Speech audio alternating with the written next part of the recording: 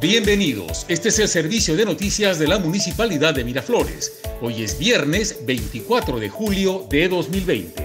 Miraflores continúa con su labor de reordenamiento del transporte público.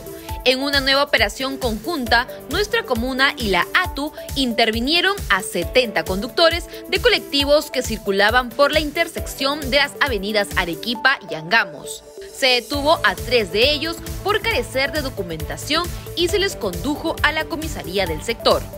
En tanto, se impuso multas a 11 conductores por realizar este servicio informal prohibido en nuestro distrito. Los alcaldes de Miraflores, Luis Molina y su colega de la ciudad ecuatoriana de Guayaquil, Cintia Viteri, acordaron suscribir un convenio de hermandad. Fue durante la videoconferencia en la que intercambiaron experiencias, especialmente las relacionadas a las medidas adoptadas para combatir la pandemia del COVID-19. Hubo coincidencias en torno a las acciones ejecutadas ante esta situación. El alcalde Luis Molina participó en un conversatorio virtual sobre las medidas que se toman para la reducción del consumo de agua en Lima.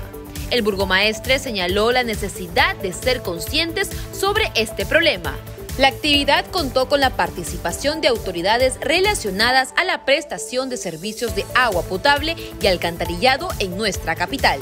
Este fin de semana vuelve el mercado itinerante, agromóvil y la bioferia Miraflores para alegría de nuestros vecinos. Sábado y domingo estará en el Parque Francisco de Miranda y en la calle 8 de octubre. Mañana sábado, la bioferia vuelve al Parque Reducto, mientras que Agromóvil se ubicará en la cuadra 7 de la calle Vasco Núñez de Balboa.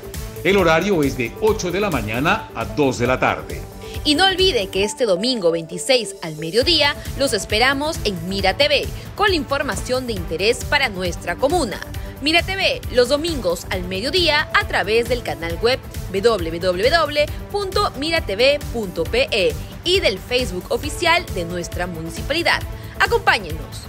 Este fue el servicio de noticias de la Municipalidad de Miraflores de hoy viernes 24 de julio de 2020. Tengan todos buen fin de semana.